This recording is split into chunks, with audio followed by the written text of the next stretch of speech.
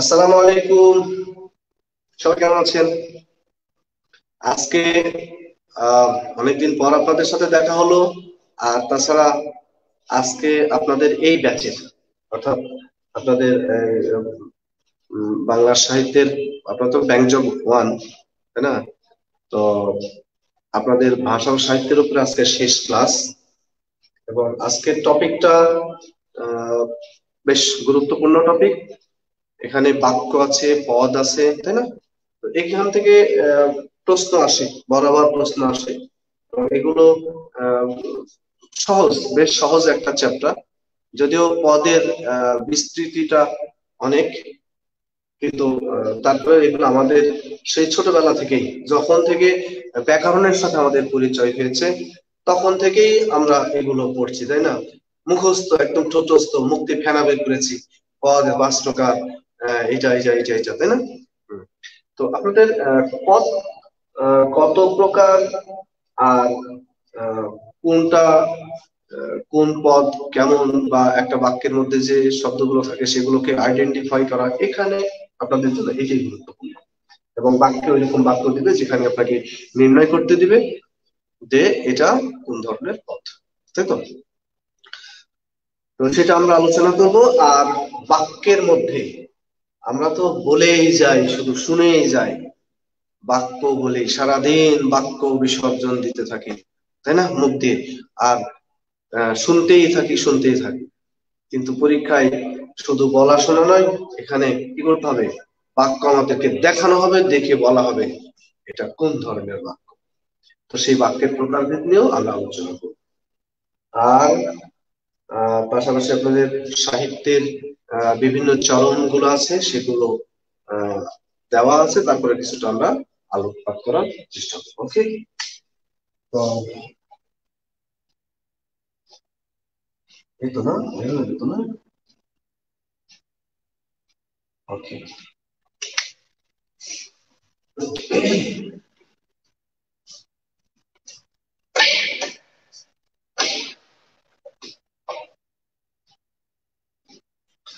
তাহলে প্রথমেই শুরু করা যাক। আমরা শুরু করব। আমরা শুরু করব কি দিয়ে? আমরা শুরু করব দিয়ে আজকে বাক্য দিয়ে শুরু করি। কি বলেন বাক্য। বাক্যটা কি? মুখস্থ হয়ে গেছে, তাই না? যে কি? কতগুলো? শব্দ মিলে যখন একটি পূর্ণাঙ্গ ভাব প্রকাশ করে। তখন সেটা হয় বাক্য, তাই তো? কি বলি বাক্য সম্পর্কে? কতগুলো? পদ মিলে যখন একটি সম্পূর্ণ মনের ভাব প্রকাশ করে, তখন সেটাকে কি বলা হয়? তখন সেটাকে বাক্য বলা হয়। এখন, আমাদের বাক্য কাকে বলে সেটা আসবে না পরীক্ষায়। আমাদের আসবে কি? বাক্যের প্রকারভেদ নিয়ে। বাক্য কত প্রকার? তো বাক্য কত প্রকার সেটা বিভিন্ন দিক থেকে অর্থ অনুসারে বাক্য আছে, গঠন অনুসারে বাক্য আছে, তাই না? তো আমরা বাক্যের যে প্রকারভেদ কয় প্রকার বাক্য পড়েছি? এক তো পড়েছি, কি কি? কি কি পড়েছি? বর্ণনামূলক বাক্য, তারপরে পড়েছি হ্যাঁ তারপরে কি? প্রশ্নবোধক বাক্য বিস্ময় সূচক বাক্য প্রার্থনা সূচক বাক্য, এই প্রকার বাক্য আমরা পড়েছি। ওইগুলো কি হিসাবে? এটা অর্থ অনুসারে। কিন্তু গঠন অনুসারে বাক্য ওটা আসবে না। ওটা সে মানে ছোটদের খাবার, ওটা সেরে সেরেলাক কিন্তু আপনাদের আসবে কি? গঠন অনুসারে বাক্য। এবং বাক্য, এক বাক্য থেকে আর এক বাক্যে রূপান্তর প্রক্রিয়াটা আসবে। তো আমরা প্রথমে একটু দেখে নিই যে বাক্য কি হিসাবে? গঠন অনুসারে। গঠন অনুসারে বাক্য কয় প্রকার? গঠন অনুসারে বাক্য হলো তিন প্রকার। একটা হলো সরল বাক্য আর একটা হলো জটিল বাক্য আর একটা হলো যৌগিক বাক্য। সরল, জটিল এবং যৌগিক এই তিন প্রকার বাক্য। এখন আমাদেরকে আলাদা করতে হবে। একটা বাক্য দেখে আলাদা করতে হবে যে এটা কোন ধরনের বাক্য। সেক্ষেত্রে অবশ্যই আমাদের গঠনটা জানতে হবে যে সরল বাক্য কীভাবে গঠিত গঠিত হয়, জটিল বাক্য এবং জটিল বাক্য কোনটা কীভাবে গঠিত হয় সেগুলো আমাদের জানতে হবে, তাই তো? তাহলে প্রথমে আমরা আসি যে সরল বাক্য। সরল বাক্য কোনটা? সরল বাক্য বলতে গেলে দুটো কন্ডিশন একটা হলো একটা হলো এখানে কি থাকতে হবে? একটা কর্মকর্তা থাকতে হবে। কি থাকতে হবে? একটা কর্ত কর্তা থাকতে হবে। আর একটা হলো ক্রিয়া থাকতে হবে। কি থাকতে হবে? একটা ক্রিয়া। তবে ক্রিয়ার মধ্যে তো অনেক ধরনের প্রকারভেদ আছে তাই না? এখানে, আহ ক্রিয়া আছে ক্রিয়া আছে, তারপরে সমাপিকা আছে, অসমাপিকা আছে, এরকম কত রকমের ক্রিয়া আছে? তাহলে একটা ক্রিয়া যে থাকতে হবে, সেটা কেমন? এটা হলো কি? সমাপিকা ক্রিয়া তাহলে একটা কর্তা থাকতে হবে আর একটা কি? সমাপিকা ক্রিয়া থাকতে হবে। যেমন যেমন, বল্টু পড়ে। কে পড়ে? বল্টু পড়ে। তাহলে এখানে কি? বল্টুটা হলো কর্তা। যে কাজ করে সেই তো কর্তা, তাই না? তাহলে বল্টুটা হলো কর্তা, আর এখানে পরেটা কি? ক্রিয়া। কেমন ক্রিয়া? এটা হলো সমাপিকা ক্রিয়া। সমাপিকা ক্রিয়া কোনটা? যে ক্রিয়া তার বক্তব্য করে সম্পূর্ণ করে, একটা পরিপূর্ণ ভাব প্রকাশ করে, তখন সেটা হয় সমাপিকা ক্রিয়া। তাহলে একটা কর্তা আর একটা হলো কি? সমাপিকা ক্রিয়া। এই দুটো একটা আহ বাক্য হওয়ার জন্য, সরল বাক্য হওয়ার জন্য মানে মৌলিক উপাদান, গুরুত্বপূর্ণ উপাদান, অত্যাবশ্যকীয় উপাদান। তাহলে কি সরল বাক্য আমরা এরকম সরলই পাবো যে একটা কর্তার একটা সমাপিকা ক্রিয়া থাকবে? না। এত সহজে আমরা এই বাক্যকে, সরল বাক্যকে পাই না। আমরা দেখি এত বড় একটা বাক্য। এত বড় বাক্য যে কি হয়? সেখানে আমরা খেয়ে হারিয়ে ফেলি। চেহারা দেখি ঘামে যায় আরে এত বড় বাক্য, এটা কি সরল বাক্য হতে পারে? হতে পারে। কিন্তু হয় কীভাবে? এই যে বল্টু, এটা কর্তা। পরে এটা ক্রিয়া। বল্টু একে বিভিন্ন ভাবে আগে, পরে বিভিন্ন ভাবে বিশেষণে বিশেষায়িত করে। সম্প্রসারিত করে। যেমন বল্টু। কে বল্টু? বল্টুর আগে লাগানো হলো। তারা বিবির মরদ পোলা বল্টু চলো তারা বিবির মরদ পোলা বল্টু। আচ্ছা তারা বিবির মরদ পোলা বল্টু পরে।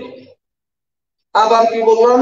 তারা বিবির মরদ বড় পোলা তারা বিবির মরদ বড় পোলা বল্টু পড়ে তাহলে কি হলো? আরেকটু বড় হলো।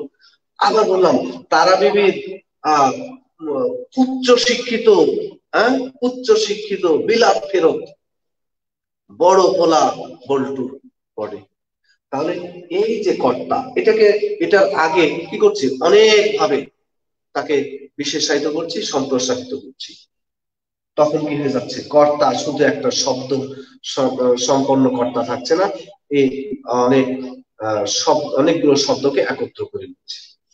আবার একইভাবে পরে এই যে পরে আগে লাগানো হলো, কি পরে? মনে করেন গীতাঞ্জলি পড়ে গীতাঞ্জলি পড়ে অথবা বলা হলো রবীন্দ্রনাথের গীতাঞ্জলি পড়ে অথবা বিশ্বকবি রবীন্দ্রনাথের গীতাঞ্জলি পড়ে অথবা বিশ্বকবি রবীন্দ্রনাথের কত? উনিশশো দশ সালে লিখিত, উনিশশো বারো সালে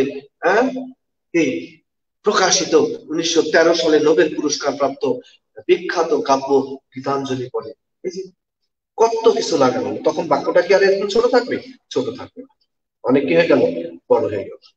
তাহলে সরল বাক্য যত বড়ই হোক না কেন, সরল বাক্য সরল বাক্য যত বড়ই হোক না কেন, কি হবে? এখানে এখানে এই মূল জিনিস থাকবে দুইটা। একটা হলো কর্তা, আর একটা হলো সমাপিকা ক্রিয়া। বিষয়টা কি পরিষ্কার হয়েছে? বিষয়টা বুঝেছি? যে এখানে সরল বাক্যের দুটো উপাদান একটা হলো কর্তা আর একটা সমাপিকা ক্রিয়া আর এর বাইরে যত কিছু দেখা যায়, সবগুলো কি হয়? এগুলোকে সম্প্রসারিত করে এই দুটো জিনিসের সম্প্রসারণ। ঠিক আছে? আচ্ছা। এবার আসি জটিল বাক্য জটিল বাক্য নামটা যেমন জটিল। আসলে ও জটিল। চেহারাতেও কি অনেক জটিলতা দেখা যায়। তবে জটিল বাক্যটা কেমন? মনে করেন।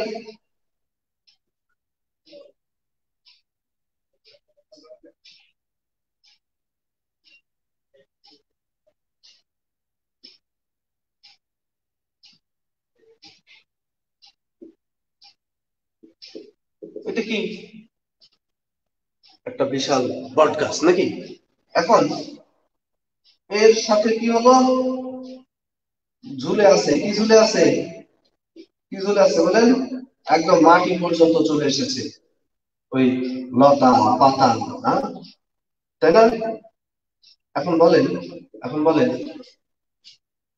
গাছ কি লতার সাথে ঝুলে আছে, নাকি লতা গাছের সাথে ঝুলে আছে?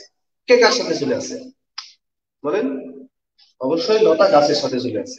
তার মানে গাছটা হলো এখানে মূল আর লতাটা তার সাথে আশ্রিত। ঠিক না? এখানে মূল বৃক্ষ কোনটা? বটগাছ।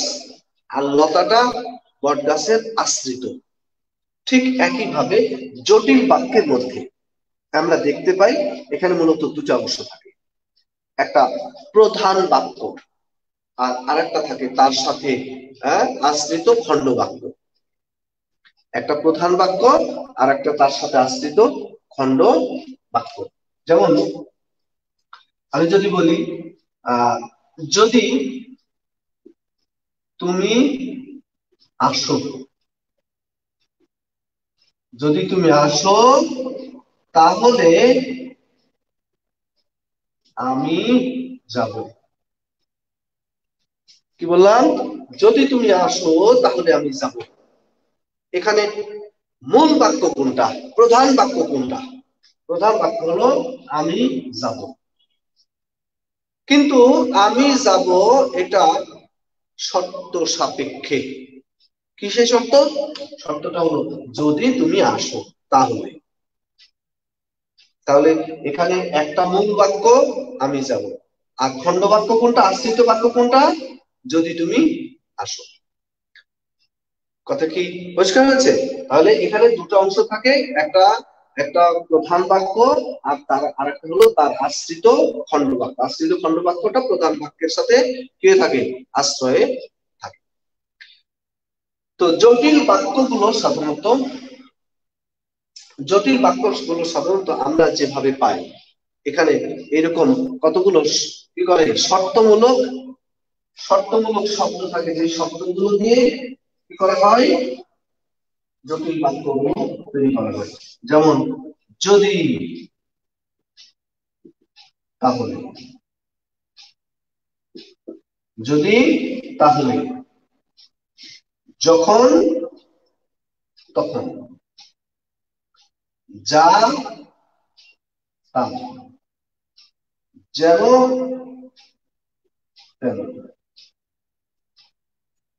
যেমন, তেমন। এই যে, এই সব শব্দ দ্বারা জটিল বাক্য তৈরি হয়ে থাকে। কথা কি বুঝেছি? তাহলে একটা বাক্যকে যদি, সরল বাক্যকে যদি জটিল বাক্যে রূপান্তর করতে হয়, তাহলে এরকম করতে হবে? কি করতে হবে? এখন আমি একটা বললাম বাক্য। যে ভিক্ষুককে, একটা বাক্য বললাম, ভিক্ষুককে ভিক্ষুককে ভিক্ষা দাও। ভিক্ষা দাও এটা কি বাক্য? এটা কি বাক্য? অবশ্যই সরল বাক্য। কেন সরল বাক্য? এখানে একটা কর্তা আছে, সেটা ভিক্ষু, আর একটা সমাপিকা ক্রিয়া কি ভিক্ষা দেওয়া দেওয়া। দেওয়া এটা ক্রিয়া। ভিক্ষুককে দাও, তাই না? ভিক্ষুককে দাও, দাওটা হলো ক্রিয়া। তাহলে এখানে এই যে দাও, কি দাও? ভিক্ষা দাও। ওই যে বললাম না, ক্রিয়াকে সম্প্রসারিত করা হয়েছে। এখানে ভিক্ষা শব্দটা দ্বারা ক্রিয়াকে সম্প্রসারিত করা হয়েছে। তাহলে এখানে একটা হলো কর্তা ভিক্ষুক ক্রিয়া হলো তাহলে এইটা একটা সরল বাক্য। এখন এই সরল বাক্যকে যদি আমি জটিল বাক্যে রূপান্তর করতে চাই, কি করতে হবে? ওই যে বললাম না, এই যে এই জাতীয় শর্তমূলক শব্দগুলোকে যুক্ত করতে হবে। তাহলে ভিক্ষুককে ভিক্ষা দাও এখানে কি করতে হবে? এই যে এই শব্দগুলো যদি তাহলে যখন তখন যাও তা যেন তেন যে, সে, যেখানে, সেখানে এই জাতীয় শব্দগুলো মানে শর্তমূলক।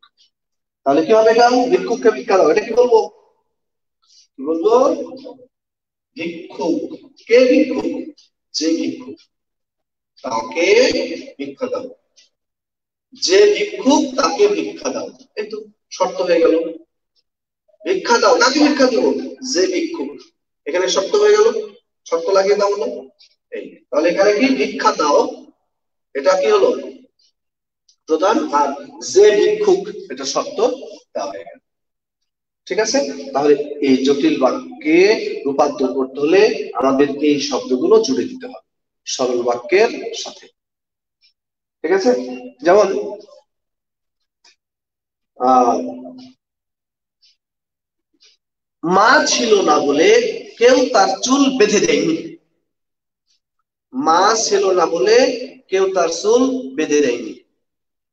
বলেন, এই বাক্যটা এই বাক্যটা কি সরল না জটিল? বলেন, এই বাক্যটা সরল না জটিল? এটা এটা সরল বাক্য। কি বাক্য এটা হলো সরল বাক্য। তাহলে জটিল করতে হলে কি করতে হবে? এই যে এইরকম শব্দ লাগবে। তাহলে মা ছিল না বলে কেউ তার সুর পেতে দেয়নি। কি বলবেন? যেহেতু মা ছিল না, সেহেতু কেউ তার চুল বেঁধে দেয়নি। যেহেতু মা ছিল না, সেহেতু কেউ তার চুল বেঁধে দেয়নি। বুঝেছি? এই হলো জটিল। তাহলে জটিল বাক্যকে এই যে মা ছিল, যেহেতু মা ছিল না, সেহেতু তার কেউ তার চুল বেঁধে দেয়নি। এই জটিল বাক্যটাকে আবার যদি সরল করতে চাই তখন কি করব? ওই শব্দগুলো উঠিয়ে দিতে হবে। যেহেতু, সেহেতু কন্ডিশনাল শব্দগুলো উঠিয়ে দিতে হবে। তাহলে, মা ছিল না, কেউ তার চুল বেঁধে দেয়। যেহেতু, সেহেতু যদি উঠিয়ে দিই। মা ছিল না বলে কেউ তার চুল বেঁধে দেয়। তো একটা জটিল বাক্যকে যখন আপনি সরল বাক্যে রূপান্তর করবেন, তখন কি করতে হবে? ওই যে লে, ইলে হ্যাঁ এইরকম ক্রিয়ার সাথে সমাপিকায় মানে অসমাপিকায় রূপান্তর কথা কি বুঝেছি? এবার আসেন যৌগিক বাক্য। যৌগিক বাক্য কোনটা? দুইটা সরল বাক্য। আমরা মানে যৌগিক কথাটা অনেক ক্ষেত্রেই শুনি। যেখানেই শুনি না কেন, সেখানে কি হয়? একাধিক মিলে সেটা তৈরি হয়। তাহলে আমরা যদি যৌগিক বাক্য বলি, তার মানে কি? সেখানে সরল বাক্য যেগুলো আছে, সেগুলো একটা না একাধিক সরল বাক্য মিলে তৈরি হবে। তাই না? একাধিক সরল বাক্য মিলে, একাধিক সরল বাক্য মিলে সেটা তৈরি হবে। যেমন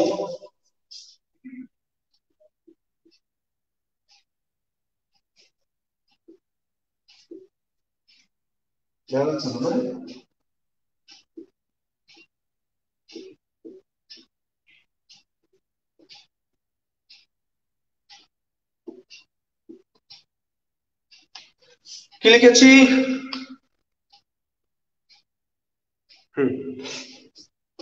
আমি মরবো, তবু এ বিয়ে করব না। এটা কি বাক্য? এটা কি বাক্য? এটা কি বাক্য আমরা দেখি? আমি মরবো, এখানে একটা বাক্য। এটা সরল বাক্য। এ বিয়ে করব না, এটা আরেকটা সরল বাক্য। তাই না? আমি মরবো, এটা একটা সরল বাক্য। এ বিয়ে করব না, এটা আরেকটা সরল বাক্য। তো এই দুটো সরল বাক্যকে কি করা হলো? যুক্ত করা হয়েছে। কি দিয়ে? তবু কথাটা তবু কথাটা দিয়ে এটাকে দুটো বাক্যকে যুক্ত করা হয়েছে। তাহলে এই যে তবু, এটা সংযোগ সাধনকারী হিসেবে কাজ করেছে। কিন্তু কাকে? দুটো সরল বাক্যকে। দুটো সরল বাক্যকে যখন কি করা হয়? একত্র করা হয়, যুক্ত করা হয় কিসের দ্বারা? কতগুলো সংযোজকের দ্বারা। তখন সেটাকে বলা হয় যৌগিক বাক্য। তো আমি মরবো, কে বলে এটা? কে বলে? আমি মরবো তো ওই বিয়ে করব না। কে বলে? কারা বলে? ছেলেরা নাকি মেয়েরা? হম? কারা বলে? ছেলেরাই বলে না। মেয়েরা তো বলে না। মেয়েরা কি করে? হ্যাঁ? নাকি? মেয়েরা পথ খুঁজে, এক পথ বন্ধ হলে আরেক পথ খুঁজে নাকি? তো যাই হোক, এটা হলো যৌগিক বাক্য এ কারণে যে আমরা কি পেয়েছি? এখানে দুটো সরল বাক্যকে যুক্ত করতে পেরেছি, তবু শব্দটা দ্বারা। তো এরকম কতগুলো কি থাকে? যোজক থাকে, যেগুলো দিয়ে দুটো সরল বাক্যকে যুক্ত করা হয়। এরকম কতগুলো? আহ, শব্দ? ও কিন্তু তবু এবং বরং অথবা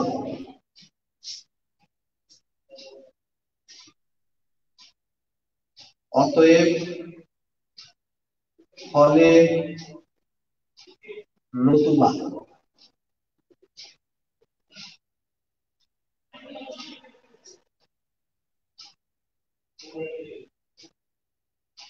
তথাপি সুতরাং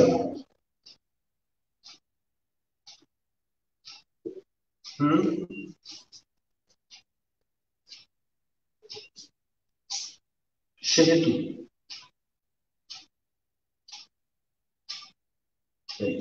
এই শব্দগুলো দিয়ে কি করা হবে?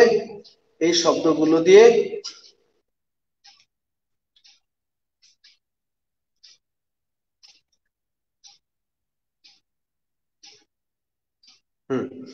এই শব্দগুলো দিয়ে আমরা দুটো সরল বাক্যকে যুক্ত করব।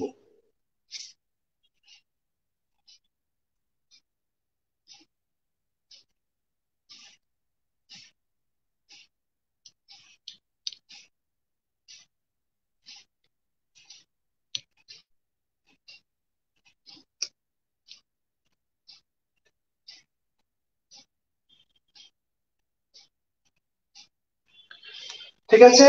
তাহলে যৌগিক বাক্যকে যখন আমরা কি করব যৌগিক বাক্যকে যখন আমরা সরল বাক্য অথবা জটিল বাক্যে রূপান্তর করব, তাহলে ওই কথাগুলোই করতে হবে। যেমন আমি মরবো, তবু এ বিয়ে করব না। আচ্ছা বলেন তো, এটাকে যদি সরল বাক্যে রূপান্তর করেন, কি হবে? সরল বাক্যে রূপান্তর করলে কি হবে? আমি বলেছিলাম যে সরল বাক্যকে সরল বাক্যে রূপান্তর করতে হলে কি করতে হবে? একটাকে অসময়পিকায় রূপান্তর করতে হবে। তাহলে আমি মরবো এটা আমি মরবো এটা তা আমি মরবো এটা কি? এটা হলো এটা হলো আহ সরল বাক্য, তাই না? কিন্তু সমাপিকায় রূপান্তর করতে হলে কি বলতে হবে? আমি মরলে কিন্তু যেহেতু এখানে সংযুক্ত করতে হবে, কি বলতে হবে? আমি মরলেও এ বিয়ে করব না। হয়ে গেল সংবাদ ঠিক আছে? আমি মরলেও এ বিয়ে করব না। ওই যে লে ইলে হ্যাঁ? এইভাবে একটা ক্রিয়াকে কি করবেন? অসমাপিকায় রূপান্তর করবেন। তাহলে এটাকে যদি আপনি জটিল বাক্যে রূপান্তর করেন, কি বলবেন? আমি মরবো তবে বিয়ে করব না। এটাকে জটিল বাক্যে রূপান্তর করবেন। কি বলবেন বলেন? লেখেন তো। কি বলবেন?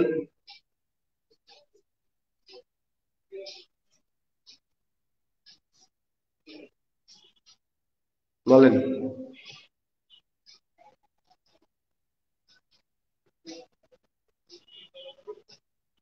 তবুওটা তো থাকবে না। তবুওটা তো উঠিয়ে দিবেন, তাই না?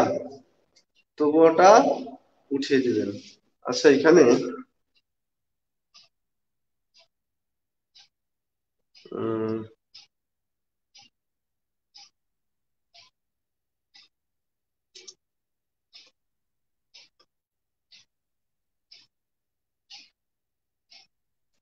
এটা কোথায়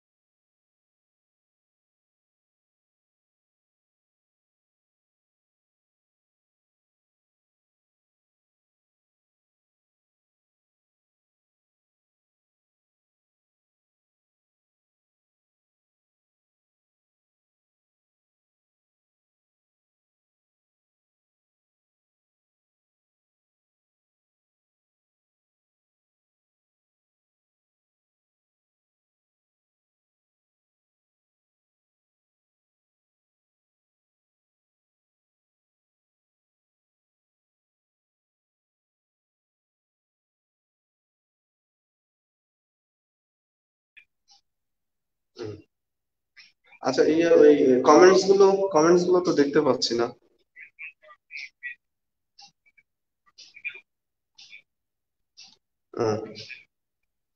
আচ্ছা ঠিক আছে। আচ্ছা তাহলে কি হলো?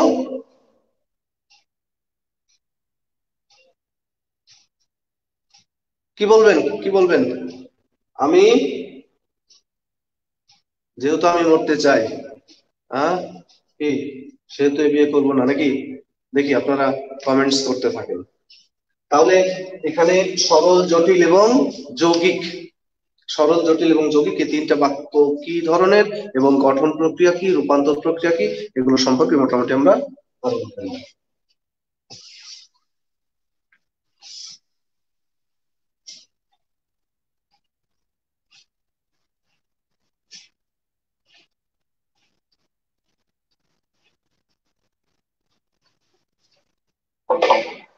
ওকে, এবার আসি। পদ। পদ কি?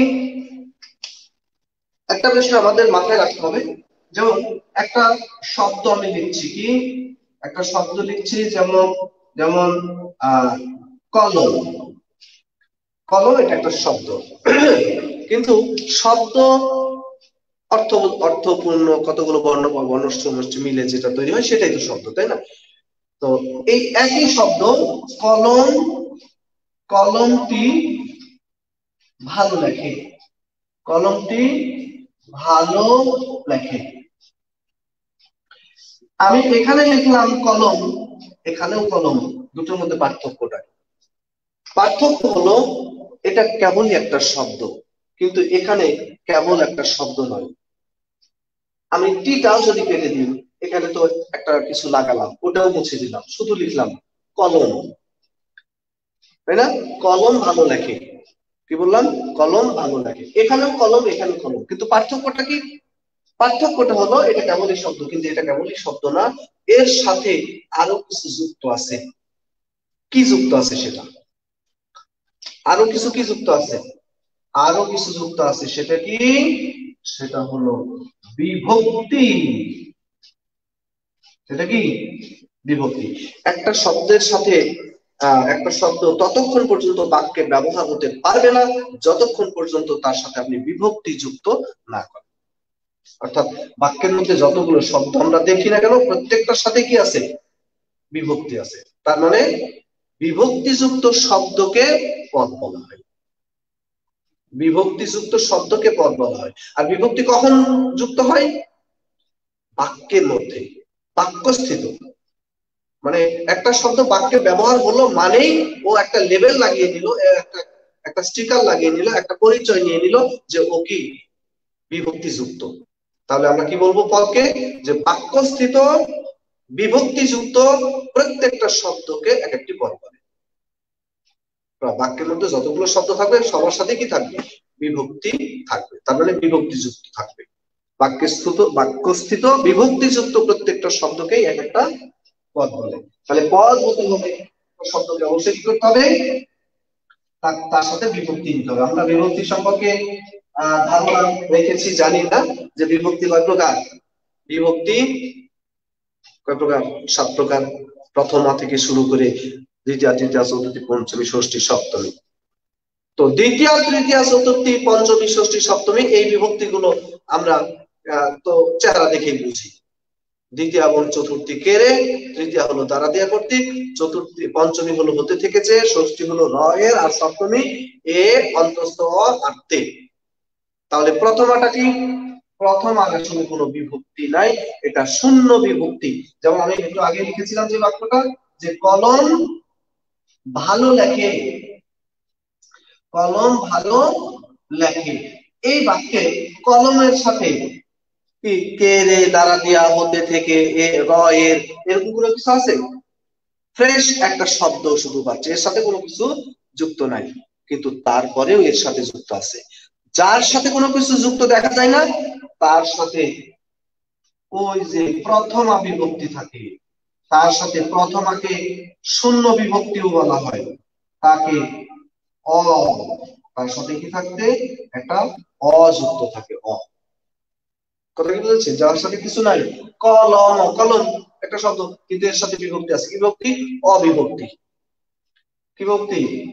এর সাথে একটা অবিভক্তি যুক্ত আছে।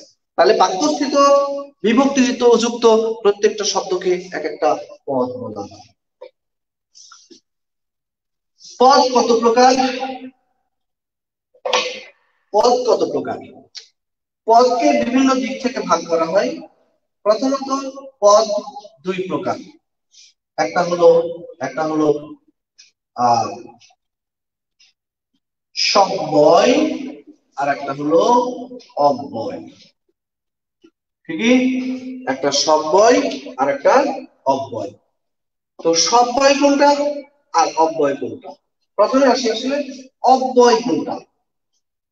এখানে ব্যয় ন, ব্যয় বা অব্যয় ব্যয়। মানে খরচ, অ মানে? অ মানে এখানে মানে না বোধক অব্যয়, অ। এখানে অ মানে হলো নাই। যার কি নাই, ব্যয় নাই। ব্যয় বলতে ও কি সদা করবে? ওটা কি ওটা কি মানুষ? যে ও ব্যয় করবে, বাজার করবে, ওর পরিবর্তন হবে। এখানে ব্যয় বলতে আসলে পরিবর্তন। কিসের পরিবর্তন? তার আকৃতির পরিবর্তন। যার কোনো কি হয় না? ব্যয় হয় না। ব্যয় বলতে এখানে পরিবর্তন হয় না।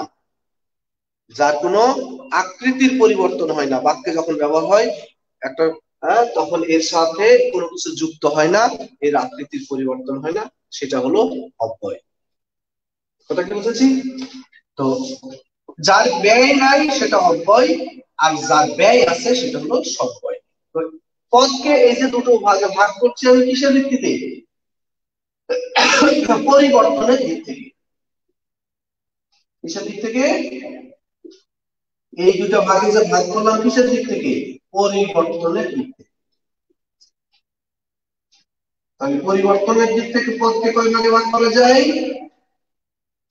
দুই ভাগে। একটা হলো সম্ভয় আর একটা হলো অব্যয়। তো যার পরিবর্তন নাই যা ব্যয় নাই, পরিবর্তন নাই, সেটা অব্যয়। আর যার পরিবর্তন আছে, সেটা হলো অব্যয়।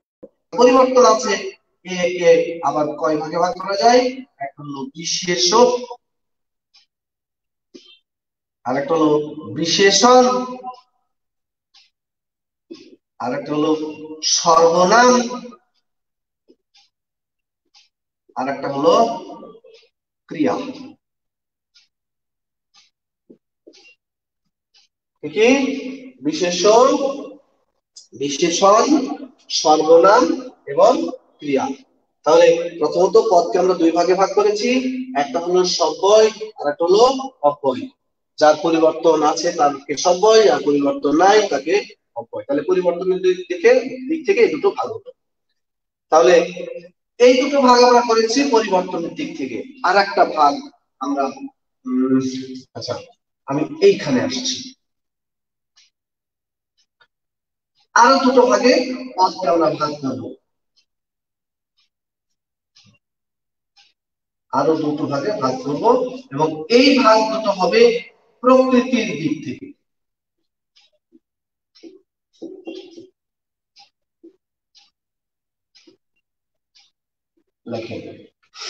প্রকৃতির দিক থেকে পদকে আমরা ভাগ করব কয় ভাগে?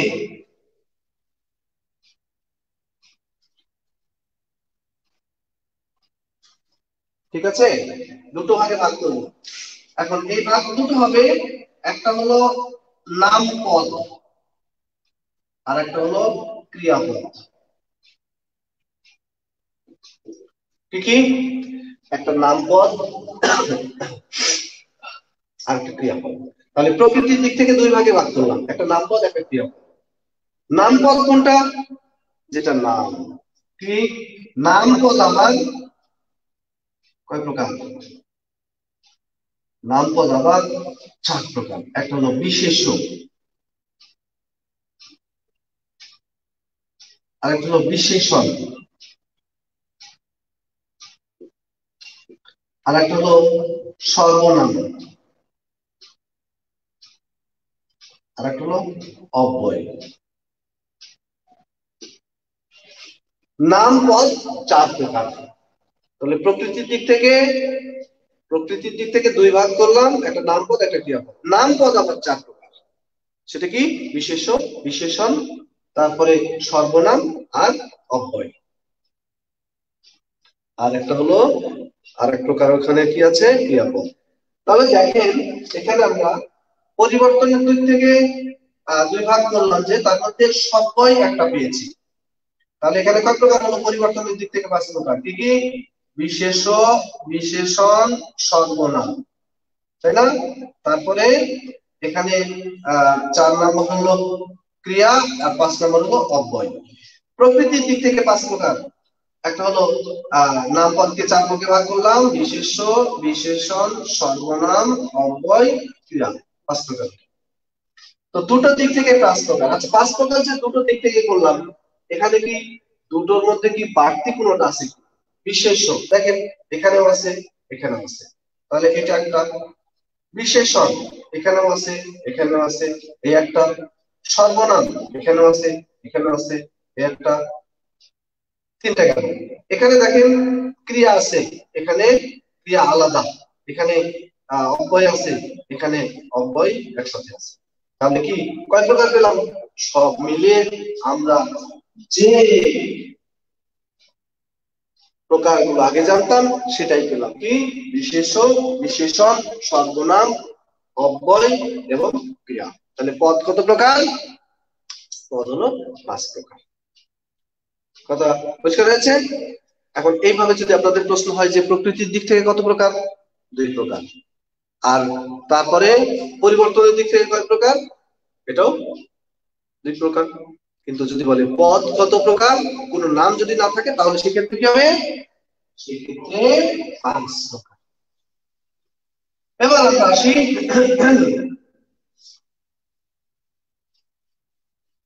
এই পাঁচ প্রকার পদ সম্পর্কে প্রথমে আসি বিশেষ পদ। বিশেষ পদ কোনটা? বিশেষ পদ হলো, এখানে কি বোঝায়? শুধু নাম বোঝায়। যে পদ দ্বারা, যে পদ দ্বারা কি বোঝায়? কোনো কিছু নাম বোঝায়, তাকে কি বলে? বিশেষ পদ বলে। তাই না? যে পদ দ্বারা কি কোনো কিছুর নাম বোঝায়, তাকে বিশেষ পদ বলে। তবে নাম, এই যেমন মধু, কদু এগুলো নাম। তাই না? তারপরে তারপরে কি? এই ঢাকা, রাজশাহী, চট্টগ্রাম, খুলনা, এগুলোও নাম। আবার আবার কে আছে কে আছে? কিসের নাম আছে? এরকম ব্যক্তির নাম আছে, এরকম কোন ভৌগোলিক স্থানের নাম আছে, নদ, নদীর নাম আছে, পদ্মা, মেঘনা, যমুনা, তাই না? তারপরে সাগর, মহাসাগরের নাম আছে, এরকম নাম আছে। আবার দেখা যায় যে গরু, ছাগল, এগুলোও নাম তারপরে অস্ট্রেলিয়ান গরু, এটাও নাম, তাই না? এরকম নাম যে নাম সবসময় শুধু নাম না বিভিন্ন ভাবে নামকে আমরা পাই। এই জন্য আমাদের আমরা যে মানে নাম বা বিশেষ পদ এটাকে এই পর্যন্ত মোটামুটি ছয় প্রকারে তারা ভাগ করেছেন, ছয় প্রকার পেয়েছেন। তার মধ্যে কি একটা হলো নাম পাচক কি? নাম পাচক বিশেষ্য। তারপরে জাতিবাচক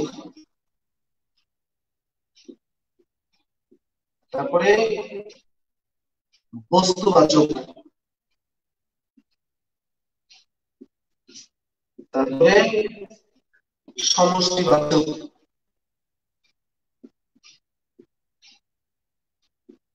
তারপরে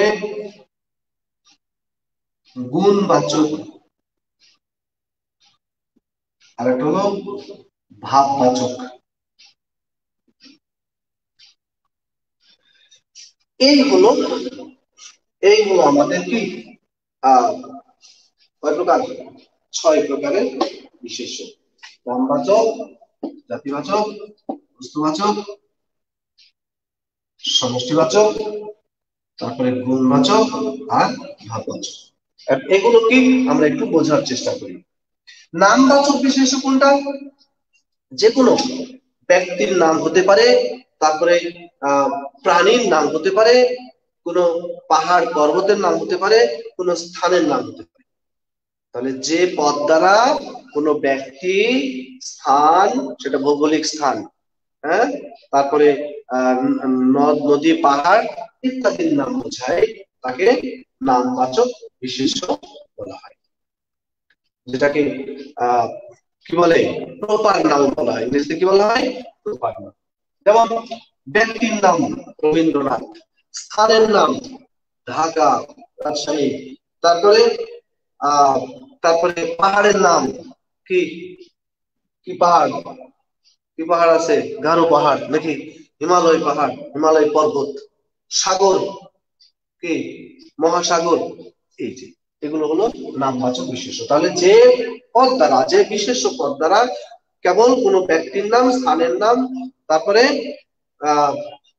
প্রাণীর নাম, তারপরে ভৌগোলিক স্থানের নাম, তারপরে সাগর, মহাসাগরের নাম ইত্যাদির নাম বোঝায়, তাকে বলা হয় নামবাচক বিশেষ্য। শুধুই নাম শুধুই নাম।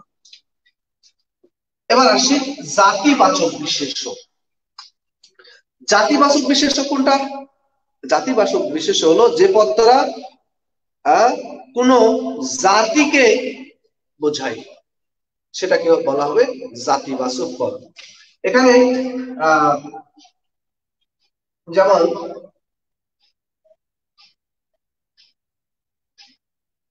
রবীন্দ্রনাথ। কি বললাম? রবীন্দ্রনাথ। এটা হলো নামবাচক। কিন্তু জাতি কি? রবীন্দ্রনাথকে একজন মানুষ। তাহলে এখানে মানুষটা হলো জাতিবাচক বিশেষ্য বুঝেছি একই জাতীয় একই জাতীয় কোন এক জাতীয় কোন মানে সকলকে একসাথে বোঝায় একই জাতীয় কোন ব্যক্তি, বস্তু বা কি, প্রাণীকে একসাথে বোঝ তখন সেটাকে জাতিবাচক পদ বলা হয়। তাহলে পদ্মা। এটা একটা নদী, এটা নামবাচক। কিন্তু নদী, এটা জাতিবাচক। ঠিক আছে? ওই যে মনে করেন যে লাল কি? লাল গরু? এটা লাল গরু কিংবা মনে করেন আপনার একটা, ওই আছে, ছাগল আছে। যেমন আমি ছোটবেলায় একটা ছাগল পালতাম। ছাগল পালতাম মানে ও আমার সঙ্গী থাকতো। আর আমি ওকে নাম দিতাম টেপু।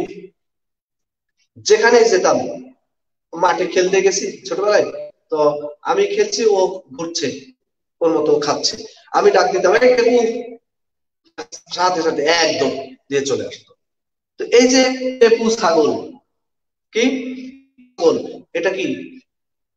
এটা হলো বিশেষ মানে নাম দাসক বিশেষ। কিন্তু যখন তুই বলবি ছাগল তখন তার নির্দিষ্ট নাম বোঝাচ্ছি না, একটা কি? একটা জাতিকে বোঝাচ্ছি। তখন সেটা হবে জাতিবাচক বিশেষ। বস্তুবাচক। আজ বস্তুবাচকটা আমি সমষ্টিবাচকটা আসি। সমষ্টিবাচক কোনটা? সমষ্টিবাচক, এখানে আমরা নামবাচক পেয়েছি আর জাতিবাচক পেয়েছি। মানে সমস্যাটা এই তিনটার মধ্যে অনেক সময় হয়। নামবাচক তারপরে জাতিবাচক আর হলো সমষ্টিবাচক এই তিনটার মধ্যে কনফিউশনটা আপনাদের লেগে যায়। তো নামবাচক তো বুঝলাম, শুধুই নাম জাতিবাচক ওই নাম যাকে মিল করে সবাইকে একসাথে বা একত্রে বোঝালে তখন সেটা জাতিবাচক এখন সমষ্টিবাচক কোনটা? সমষ্টিবাচক হলো যেটা জাতিবাচক ওই জাতির মধ্য থেকে নির্দিষ্ট কতগুলো ব্যক্তি বা কি? প্রাণীর সংখ্যাকে বোঝায়। এক এক জাতির একটি জাতির অন্তর্গত নির্দিষ্ট সংখ্যক, একটি জাতির অন্তর্গত নির্দিষ্ট সংখ্যক কোন কি ব্যক্তি বা প্রাণীর সমষ্টিকে বোঝালে তখন সেটা হবে সমষ্টিবাচক বিশেষ্য যেমন রবীন্দ্রনাথ, কি? রবীন্দ্রনাথ একজন কবি, তাই না? নজরুল একজন কবি। তারপরে তারপরে জীবনানন্দ দাস একজন কবি। হ্যালো? হ্যাঁ। হ্যাঁ বাবা।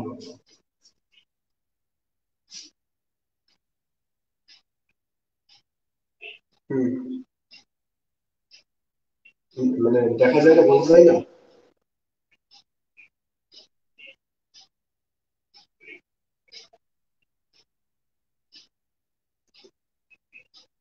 কথা ক্লিয়ার হয় না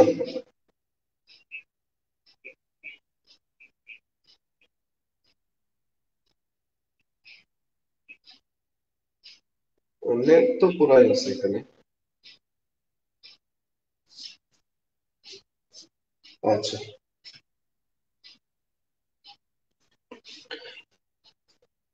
আচ্ছা তাহলে দেখেন সমষ্টিবাচক হলো একটি জাতির মধ্য থেকে নির্দিষ্ট কিছু সংখ্যক, নির্দিষ্ট কিছু সংখ্যক ব্যক্তির হতে পারে অথবা প্রাণীর সমষ্টি বোঝালে তখন সেটা হবে সমষ্টিবাচক। যেমন এই যে বলছিলাম যে রবীন্দ্রনাথ কবি, নজরুল কবি জসিমুদ্দিন কবি, তারপরে তারপরে কি? বলে? জীবনানন্দ দাস কবি। এখন সবাইকে মিলে আমি কি বললাম? যে বাঙালি কবি। তখন কি হয়ে গেল? বাঙালি কবি, কবিদের মধ্যে থেকে কি করা হলো?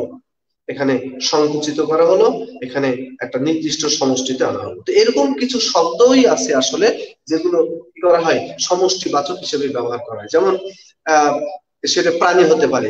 যেমন কি, পাখির ঝাঁক। তারপরে হাতির পাল হ্যাঁ তারপরে পঞ্চায়েত। তারপরে, আহ বিচারক হ্যাঁ যে বিচারক মন্ডলী তাই না? এই, এগুলো হলো সমষ্টিবাচক বিশেষ্য তাহলে তিনটা কি পরিষ্কার হলো? নামবাচক, সমষ্টিবাচক আর জাতিবাচক। নাম হলো একজন। সমষ্টি হলো কয়েকজন। আর জাতিবাচক হলো সবাইকে একসাথে। সেটা ব্যক্তি হতে পারে, সেটা প্রাণী হতে পারে। ঠিক আছে? এবার আসি বস্তুবাচক। বস্তুবাচক কোনটা? যে বিশেষ পদ দ্বারা কি কোন কোন বস্তু বা বস্তুর উপাদানকে বোঝায়, সেটা হবে বস্তুবাচক বিশেষ্য। যেমন লবণ, তারপরে চিনি, ডাল, লবণ, চিনি, ডাল, এগুলো কি? এগুলো হলো বস্তুবাচক বিশেষ্য কনফিউশনটা কোথায় হতে পারে? কনফিউশনটা আপনার হতে পারে সেটা সমষ্টিবাচকের সাথে বস্তুবাচকের তো সমষ্টিবাচকের সাথে সমষ্টিবাচকের সাথে বস্তুবাচকের পার্থক্যটা কোথায়? সমষ্টিবাচকের সাথে বস্তুবাচকের কি? পার্থক্যটা কি? যেমন আমি বলেছিলাম ব্যক্তি বা প্রাণীর সমষ্টি। কিন্তু এগুলো কি? বস্তু। যে পদ কি বোঝায়? যে পদটা বস্তু বা বস্তুর উপাদানকে বোঝায়? বস্তু বা বস্তুর উপাদানকে বোঝায়? সেটা হবে বস্তুবাচক কথা কি বুঝেছি? যেমন আপনি বললেন কি? আপনি বললেন টেবিল, চেয়ার, এখানে বোর্ড, এখানে কি? সাদ এখানে তারপরে মেঝে, এগুলো কি? এগুলো সব বস্তুবাচক।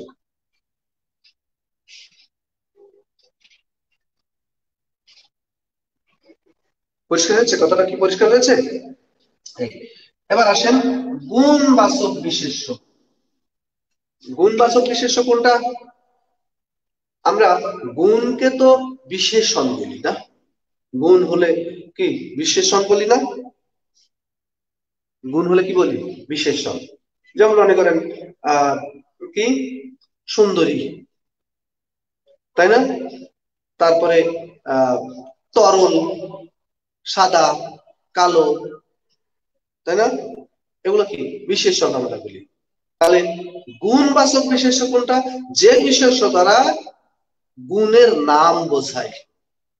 যে বিশেষ দ্বারা কি বোঝায়? গুণের নাম বোঝায়। যেমন আহ যেমন মনে করেন, যেমন মনে করেন যে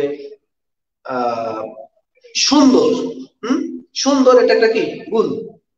কিন্তু যদি বলি সুন্দরী মেয়ের সৌন্দর্য আছে। সুন্দর, এটার নাম কি? এটার নাম হলো সৌন্দর্য। তরল, এটা একটা বিশেষণ। কিন্তু এটার নাম কি? তারল্য। সাদা সাদাত্ব কালো, কালত্ব। মানে কালত্ব, সাদাত্ব, তাই না? হ্যাঁ? এগুলোই হলো বিশেষণ মানে গুণ বাস্তব বিশেষ তাহলে যে পদটা কি বোঝায়?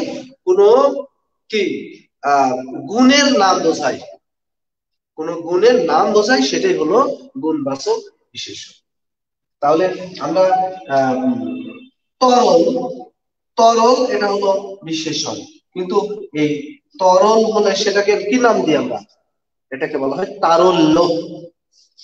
তারল্যটা হলো গুণবাচক বিশেষণ কথা কি পরিষ্কার হয়েছে তাহলে কি বলছিলাম যে যে পদ দ্বারা যে পদ দ্বারা কি বোঝায় গুণ বোঝায় তাকে গুণ বাস্তব বিশেষ বলে যে পদ দ্বারা গুণের নাম বোঝায় তাকে গুণবাচক বিশেষ বলা হয় ঠিক আছে তাহলে সুন্দর এটা কি গুণ কিন্তু এটাকে বলা হয়? নামটাকে কি বলা হয়? সৌন্দর্য এটা হলো গুণবাচক বিশেষ্য। ঠিক আছে? তো গুণ বা বিশেষণকে বিশেষণকে এইভাবে বিশেষ্য বানানোর ক্ষেত্রে কতগুলো প্রক্রিয়া আছে? কতগুলো প্রক্রিয়া আছে? যেমন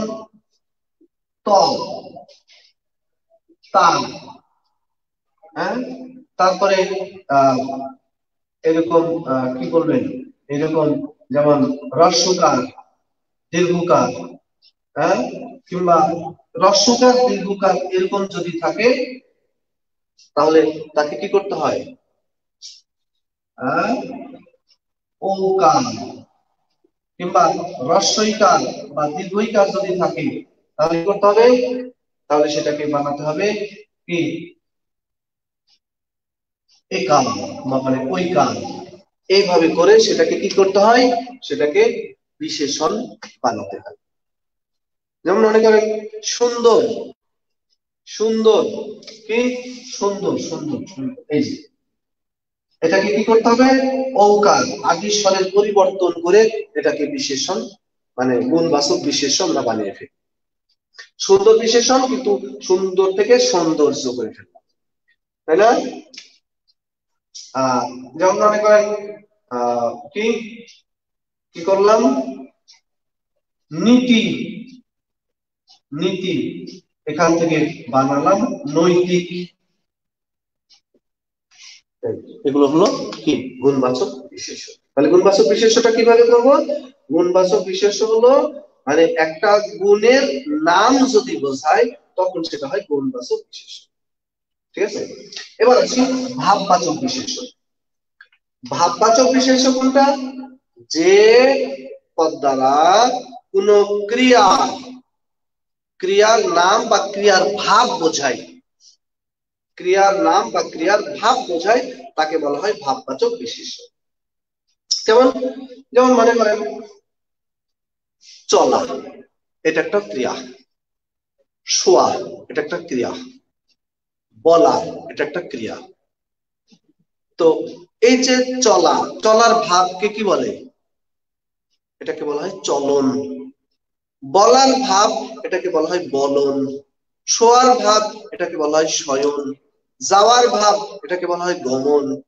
এই যে গমন, শয়ন, বলন, চলন, এগুলো হলো ভাববাচক বিশেষ তাহলে ভাববাচক বিষয়টা কি? ভাববাচক বিশেষ হলো যে বিশেষ পদ দ্বারা কোন ক্রিয়া বা ক্রিয়ার ভাব বোঝায়। কোন ক্রিয়ার কাজ, ক্রিয়ার নাম, কোন ক্রিয়ার নাম বা ক্রিয়ার ভাবকে বোঝায়, সেটাই হলো ভাববাচক বিশেষ।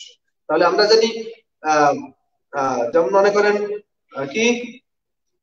বলা বলা এটা ক্রিয়াপদ। কিন্তু বলা, এটা এই এই কাজটাকে কি বলা হয়? বলন। তাই না? তারপরে শোয়া, একটা ভাব।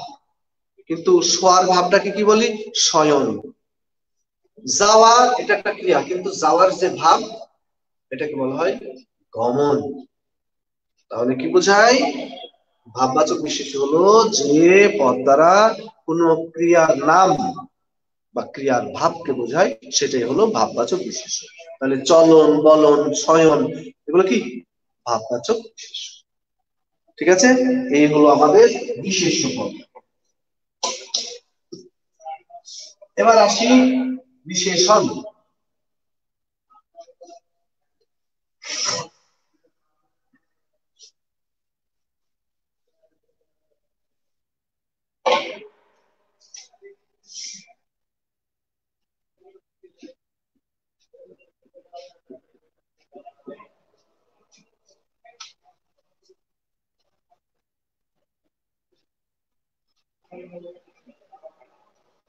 আচ্ছা।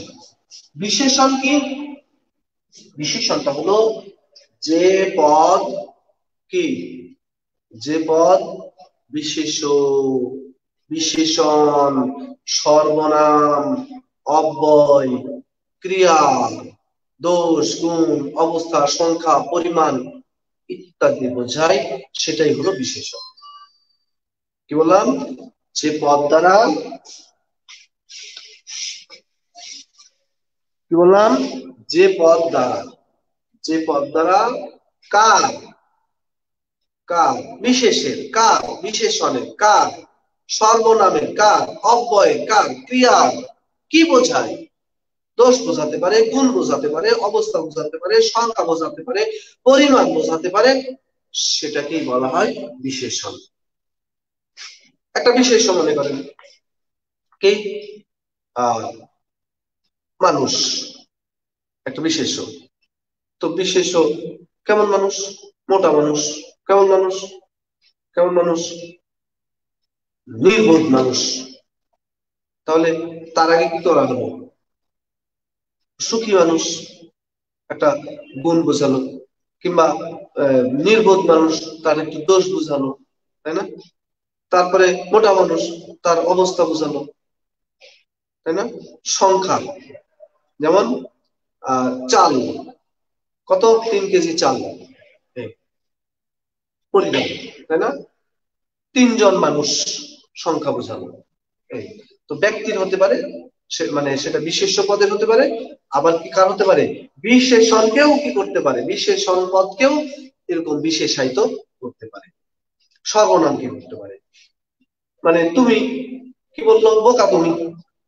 তুমি সর্বনাম তো কি বলা হলো? বোকা তুমি। এই যে, বোকার আগে বসানো হলো। তাহলে কার আগে? বিশেষ বিশেষণ, সর্বনাম, অব্যয় ক্রিয়ার পূর্বে বসে কি করে? তার দোষ গুণ অবস্থার সংখ্যা, পরিমাণ ইত্যাদি প্রকাশ করে। তাকে বলা হয় বিশেষণ তো বিশেষণটা হয় দুই প্রকার। একটা হলো একটা হলো নাম বিশেষণ। একটা হলো নাম বিশেষণ আর একটা হলো ভাব বিশেষণ। বিশেষণ কয় প্রকার? দুই প্রকার। একটা হলো নাম বিশেষণ আর একটা হলো ভাব বিশেষণ। তাহলে নাম বিশেষণ কোনটা? যে বিশেষণ কাকে? বিশেষ এবং সর্বনাম। যে বিশেষণটা কি করে? যে বিশেষণটা বিশেষ এবং সর্বনামকে বিশেষিত করে। কাকে বিশেষিত করে? কাকে বিশেষিত করে? বিশেষ এবং সর্বনামকে বিশেষিত করে তাকে বলা হয় নাম বিশেষণ। কি বললাম? যে বিশেষণ তাকে কাকে বিশেষ এবং সর্বনামকে বিশেষিত করে তাকে বলা হয় নাম বিশেষণ। যেমন এই যে বিশেষ কি? সেটা একটা গরু। এটা একটা কি? বিশেষ পদ এখন গরুকে, গরুর আগে বলল কি? লাল গরু। লাল গরু এখানে লালটা কি? লালটা একটা বিশেষ কারণ কি? এটা গরুকে বিশেষিত, বিশেষায়িত করেছে। লাল গরু এটা বিশেষণ আবার সর্বনাম যেমন তোমরা, এটা কি? সর্বনাম তার আগে কি বললাম? সচেতন তোমরা। সচেতন সচেতন তোমরা। তাহলে এখানে এই যে তোমরা সর্বনাম, তোমরা আগে বসেছে সচেতন। সুতরাং এটা হলো কি? এটা হলো এটা হলো মানে সর্বনামকে বিশেষিত তাহলে যে পদ বিশেষ এবং সর্বনামকে বিশেষিত করে, তাকে বলা হয় নাম বিশেষণ। ঠিক আছে? এবার আসি ভাব বিশেষণ। তাহলে ভাব বিশেষণ কোনটা? যে বিশেষণ বিশেষ এবং সর্বনাম ছাড়া যে বিশেষণ, তাকে বিশেষ এবং সর্বনাম ছাড়া অন্য পদকে বিশেষিত করে সেটাকে বলা হয় ভাব বিশেষণ। তাহলে অন্য কি কি আছে? আমরা তো পাঁচ প্রকারের মধ্যে বিশেষ সর্বনাম পেয়ে বা ইয়ে হ্যাঁ? তাহলে আর একটা কি হতে পারে? একটা হতে পারে ক্রিয়াকে বিশেষিত করছে। তারপরে হতে পারে, আহ বিশেষণকে বিশেষিত করছে, তাই না? অব্যয়কে বিশেষিত করছে, তাই না? তাহলে বিশেষ এবং সর্বনাম ছাড়া অন্য পদকে বিশেষিত করে যে পদ, তাকে বলা হয় যে বিশেষণ, তার নাম হলো ভাব বিশেষণ। কি বললাম কথাটা? বিশেষ সর্বনাম ছাড়া অন্য পদকে বিশেষিত করে যে বিশেষণ, তার নাম হলো ভাব বিশেষণ। তো ভাব বিশেষণ, এটা আমরা পাই কয়েক প্রকার। একটা হলো একটা হলো ক্রিয়া বিশেষণ। আর একটা হলো বিশেষণের বিশেষণ। বিশেষণের বিশেষণ, একটা হলো ক্রিয়া বিশেষণ, একটা হলো বিশেষণের বিশেষণ, একটা হলো অব্যয়ের বিশেষণ আরেকটা আছে আরেকটা আছে, সেটা হলো বাক্যের বিশেষণ বাক্যের বিশেষণ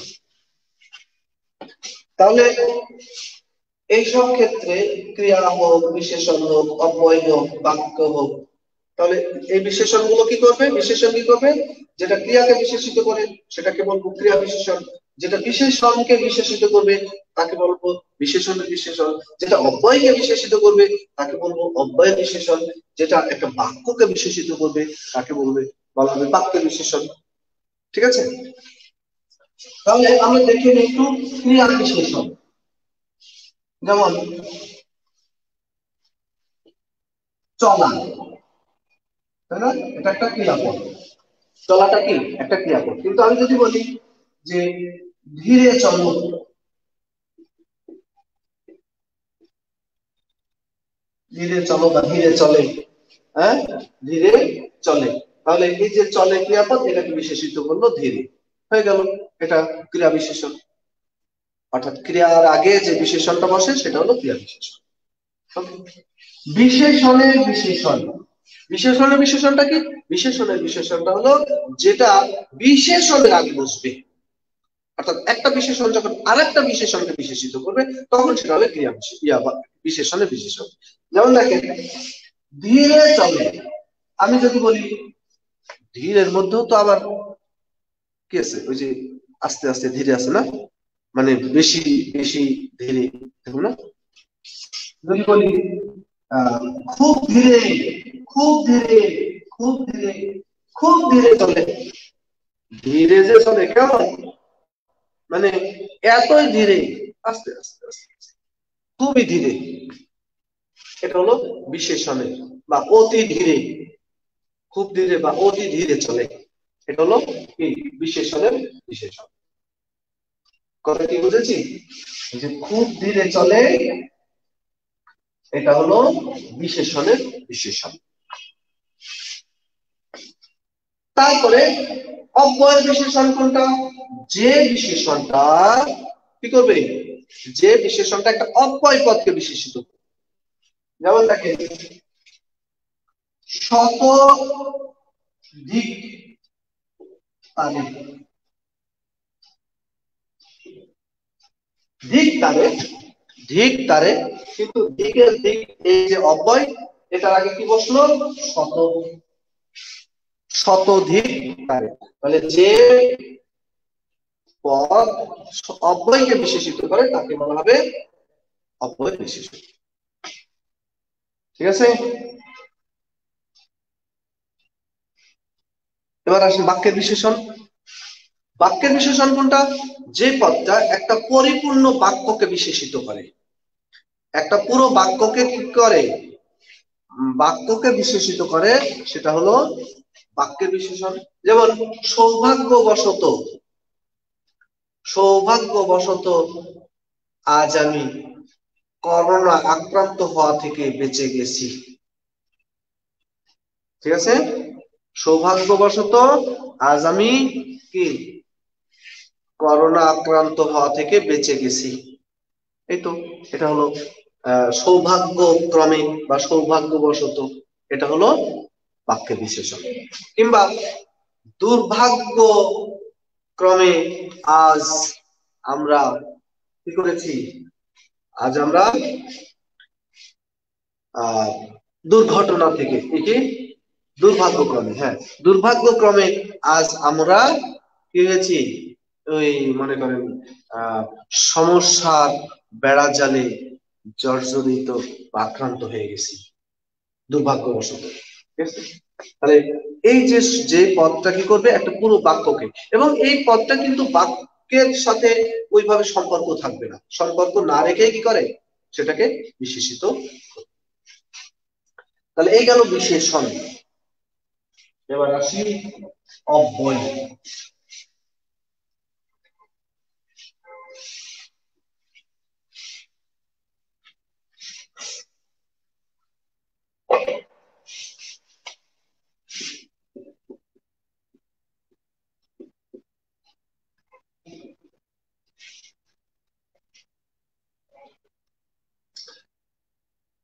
অব্যয় কি ওই যে বলেছিলাম, যার কোনো ব্যয় নাই, যার কোনো কি নাই?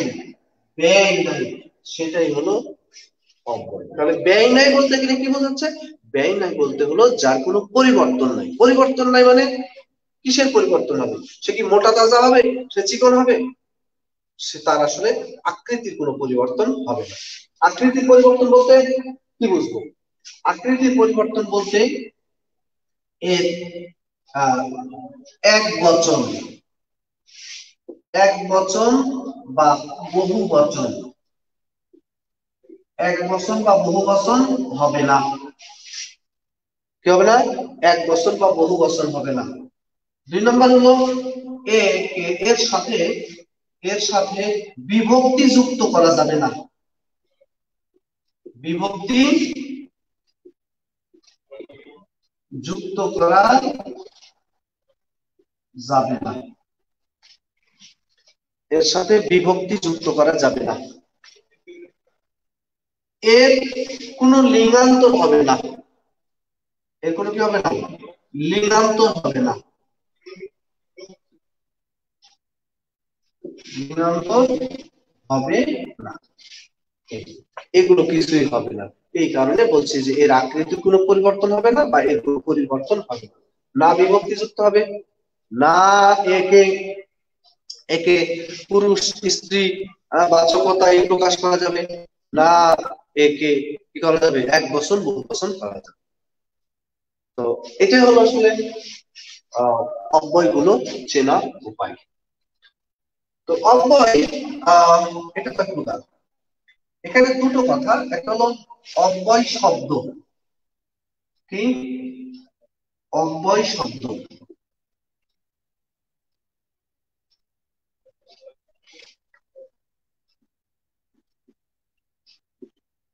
অব্যয় শব্দ এটা তিন প্রকার। অব্যয় শব্দটা প্রকার। এরকম যে শব্দগুলো, অব্যয় শব্দগুলো আছে, সেগুলো তিন প্রকার। একটা হলো খাঁটি বাংলা।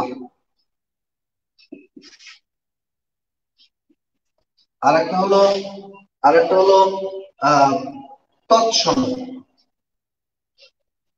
আর একটা হলো বিদেশি। অব্যয় শব্দগুলো, আমরা বাংলা ভাষায় যে শব্দ অব্যয়গুলো ব্যবহার হয়, এগুলো মূলত তিনটা উৎস থেকে আমরা পাই। একটা হলো খাঁটি বাংলা, একটা তৎসম বা সংস্কৃত আর একটা হলো বিদেশি। খাঁটি বাংলা, যেমন, কোনগুলো? ও আর আবার হ্যাঁ না এগুলো হলো খাঁটি বাংলা অব্যয় ও, আর, আবার, হা, না, এগুলো খাঁটি বাংলা। তৎসম অব্যয়গুলো হলো, যেমন যদি, যথা, সদা, সহসা। হঠাৎ এগুলো হলো তৎসম। আর বিদেশি অপয় কোনগুলো? বিদেশি অপয়ের মধ্যে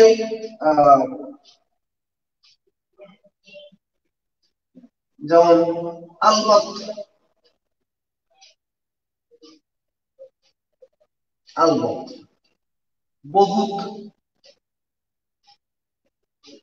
আলবত বহুত তারপরে খুব তারপরে খাসা মাইরি সাবাস বাহবান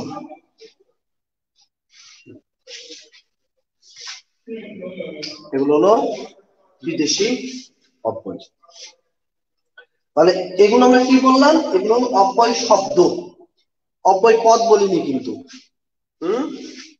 অব্যয় পদ, সেটা আমরা বলব এখন। কিন্তু যদি আসে অব্যয় শব্দ কয় প্রকার? তাহলে অব্যয় শব্দ হলো তিন প্রকার। একটা হলো একটা হলো খাঁটি বাংলা, একটা একটা, আহ, তৎসম, আর একটা হলো বিদেশি। ঠিক আছে? কিন্তু যদি কিন্তু যদি পরীক্ষা আসে অব্যয় পদ কত প্রকার অব্যয় পদ কত প্রকার যদি আসে অব্যয় পদ কত প্রকার, তাহলে অব্যয় পদ হলো এক প্রকার, দুই প্রকার, তিন প্রকার, চার প্রকার। অব্যয় পদ কত প্রকার?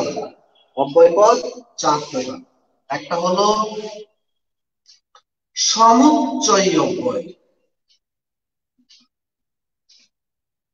তারপরে অনন্যয় অব্যয়।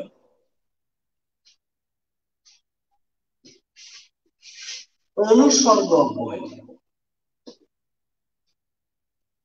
আরেকটা হলো আরেকটা হলো, আহ, অনুকার বা ধনাত্মক অব্যয়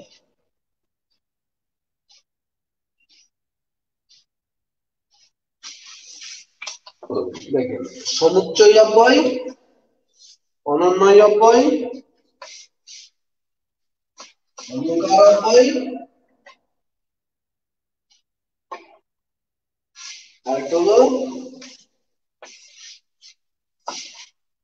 ধনাত্মক অব্যয় বা অনুকার অব্যয় এবার আসি সমুচ্চয় অব্যয়।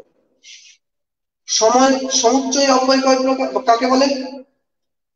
যে অব্যয় পদ একটা বাক্যের সাথে আরেকটা বাক্যের অথবা বাক্যের মধ্যে যে পদগুলো আছে, বাক্যস্থিত যে পদগুলো, একটা পদের সাথে আর একটা পদের কখনো সংযুক্ত করে, কখনো প্রিয়জন সাধন করে অথবা কখনো সংকুচিত করে।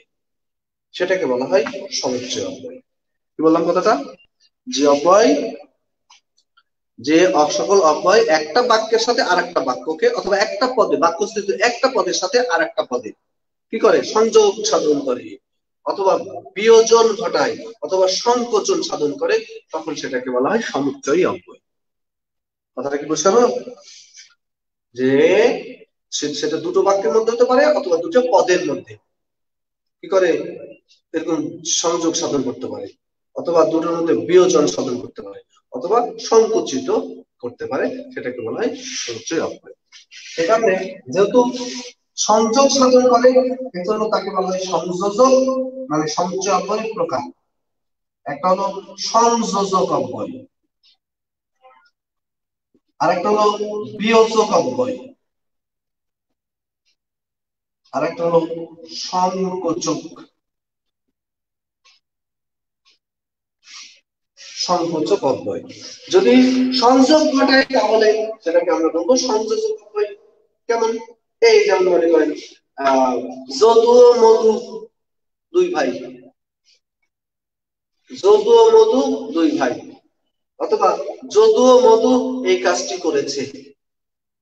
তাহলে কি হলো? দুইজনকে মানে যদু এই কাজটি করেছে মধু এই কাজটি করেছে। তাহলে এখানে কি করেছে? যদু আর মধুকে এখানে দুটো বাক্য একটা যদু এই কাজ করেছে, আর কেউ মধু এই কাজ করেছে। এই দুটাকে কি করেছে? দুটো বাক্যকে সংযুক্ত করেছে, যদু ও মধু এই কাজটি করেছে। ঠিক আছে? বিয়োজক, সংযোজক অব্যয়ের ক্ষেত্রে কি? ওই যে ও এবং আর, হা, না এই এই এইরকম অব্যয়গুলো ব্যবহার হয় কি ও এবং আর ঠিক আছে? তারপরে আবার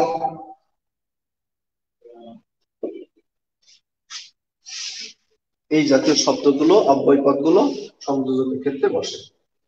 বিয়োজক অব্যয়। বিয়োজক অব্যয় কি? বিয়োজন সাধন করে। বিয়োজক অব্যয় কি করে? বিয়োজক অব্যয়টা মূলত বিয়োজন সাধন করে। যেমন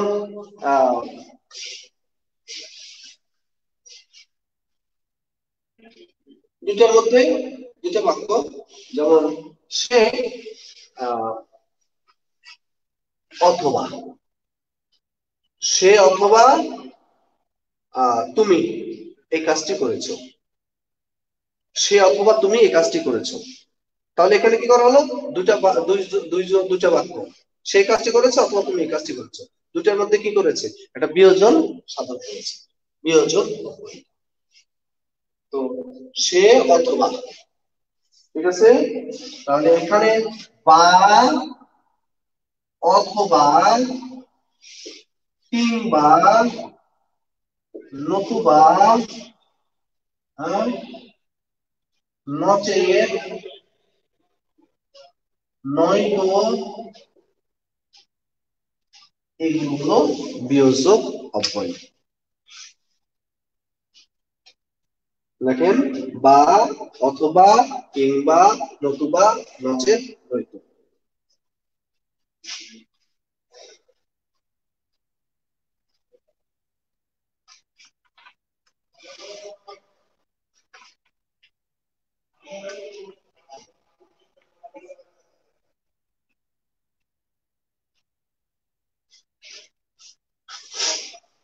বা, অথবা কিংবা নতুবা নচেত নয়তো এগুলো হলো কি?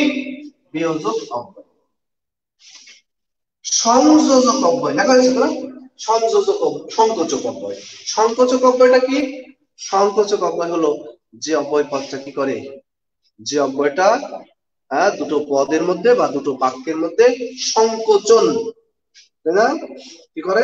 সংকোচন সাধন করে। সেটাকে বলা হয় সংকোচক অব্যয়।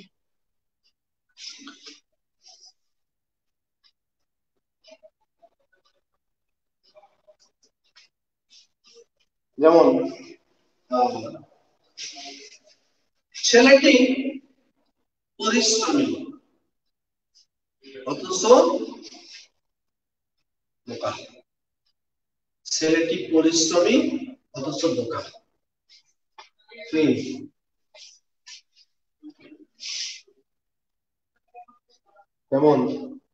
কিন্তু, আরেকটা এরকম হ্যাঁ? সংকোচন স্মরণ করে কীরকম হবে? লোকটি দরিদ্র কিন্তু সৎ। লোকটি দরিদ্র কিন্তু সৎ।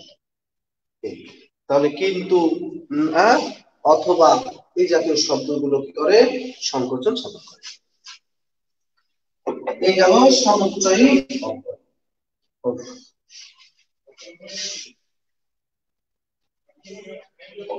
এবার আসেন অনন্যয়ী।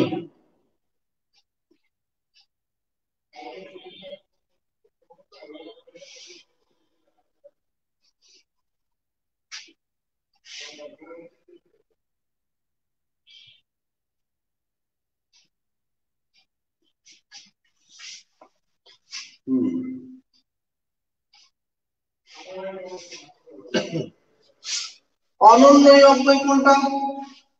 যে সকল অব্যয় পদ কি করে? যে সকল অব্যয় পদ কি করে? মানে হর্ষ, বিষাদ, তাই না? আনন্দ, তারপরে স্বীকৃতি, অস্বীকৃতি, সম্বোধন ইত্যাদি বোঝায়। যে সকল অব্যয় দ্বারা কি বোঝায়? যে সকল অব্যয় দ্বারা যে সকল অব্যয় দ্বারা আনন্দ হ্যাঁ? তারপরে উল্লাস, তারপরে ইচ্ছা, অনিচ্ছা, সম্বোধন ইত্যাদি বোঝায়, সেটা হলো সেটা হলো কি অনন্যই অব্যয়। তার মানে এগুলো বাক্যের সাথে কোনো সম্পর্ক রাখে না, কিন্তু সম্পর্ক না রেখেও একটা বাক্যে কি করে? ভাব বা শোভা বর্ধন করে। যেমন মরি মরি সুন্দর প্রভাতের দৃশ্য। তুমি এত নিচ। কিংবা, ওগো, আস, তোরা যাস নে ঘরের বাহিরে।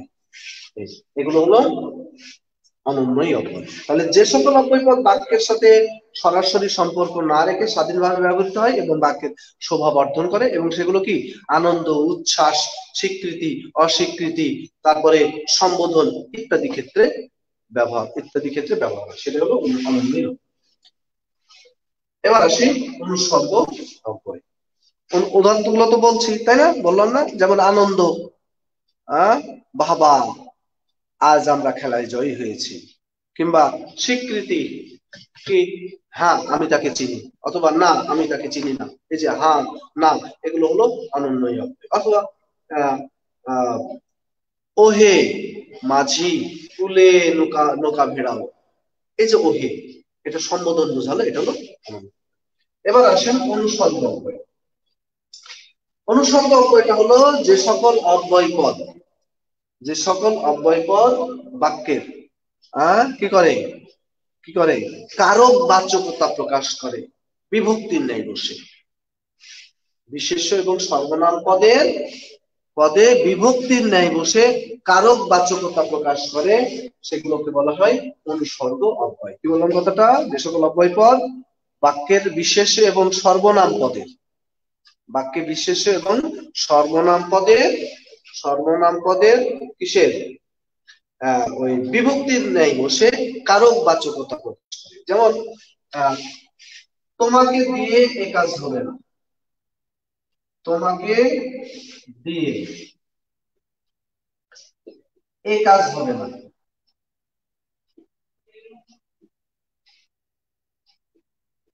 তোমাকে এই যে দিয়ে, এটা হলো কি? অনুসর্গ অব্যয়। তাহলে অনুসর্গ অব্যয়ের ক্ষেত্রে যেমন দ্বারা তারপরে দিয়া বা দিয়ে হ্যাঁ? হতে থেকে এগুলো হলো কি? এগুলো হলো অনুসর্গ অব্যয়। তাহলে কি বললাম কথাটা? যে যে সকল অব্যয় পদ সর্বনাম বিশেষ এবং সর্বনাম পদে, পদের বিভক্তির ন্যায় বসে কারক বাচ্যকতা প্রকাশ করে, সেটাকে বলা হয় অনুসর্গ এবার আসলে অনুকার অব্যয় বা ধনাত্মক অব্যয় অনুকার অব্যয় কোনটা? অনুকার অব্যয় হলো অনুকরণে। কিসের অনুকরণ? সেটা কোন আওয়াজ, শব্দ, রব, ধ্বনি। ধ্বনির অনুকরণে যে এই অব্যয়গুলো তৈরি হয় বা অব্যয়গুলো ব্যবহার করা যেমন, রিমঝিম বৃষ্টি পড়ে হ্যাঁ কি জানো তারপরের লাইনটা? হ্যাঁ তো এই যে রিমঝিম এটা কি বৃষ্টি কিংবা বৃষ্টি পড়ে টাপুর টুপুর, এই যে টাপুর টুপুর, তাই না? এটা কি বৃষ্টির আওয়াজ রিমঝিম বৃষ্টির আওয়াজ কিংবা বাতাস, কেমন করে বয় জানো? সনসন বাতাস বয়। সনসন করে এই যে সনসন তাই না? তারপরে ব ব করে ঘুরে। কি কি করে ফ্যান ঘুরছে, ব ব করে ঘুরে।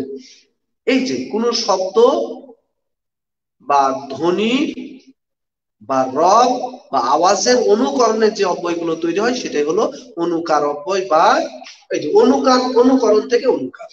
ধ্বনি থেকে ধনাত্মক। কি বললাম? অনুকরণ। কিসের? ধ্বনির অনুকরণের শব্দের অনু এটা হলো ধনাত্মক অব্যয় বা অনুকার ঠিক আছে?